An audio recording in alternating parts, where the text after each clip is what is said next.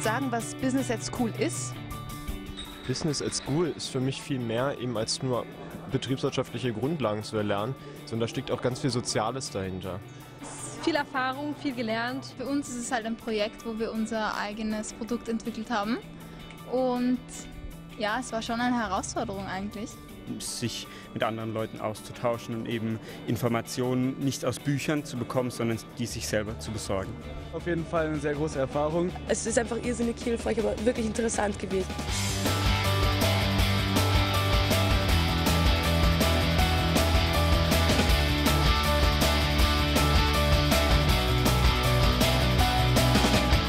Zu Desi, damit der Sonnenschutz mitdenkt.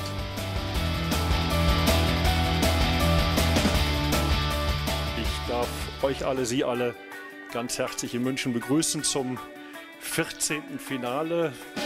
Unser Produkt hat auch andere Vorteile. Es ist zwar geringfügig höher äh, in den Kosten, trotzdem als Massenware geeignet.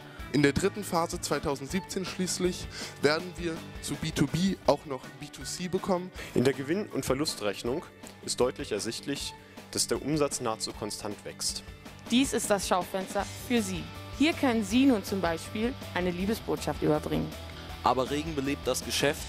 Im Realistic und Best Case gehen wir von den in Deutschland üblichen Regenverhältnissen aus.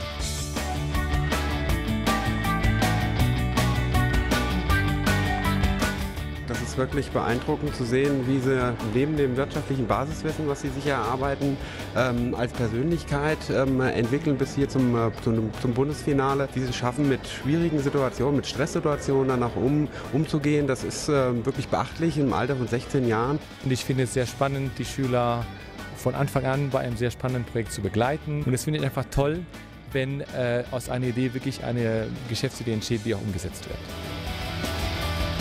Es gewinnt so der Sie. Herzlichen Glückwunsch.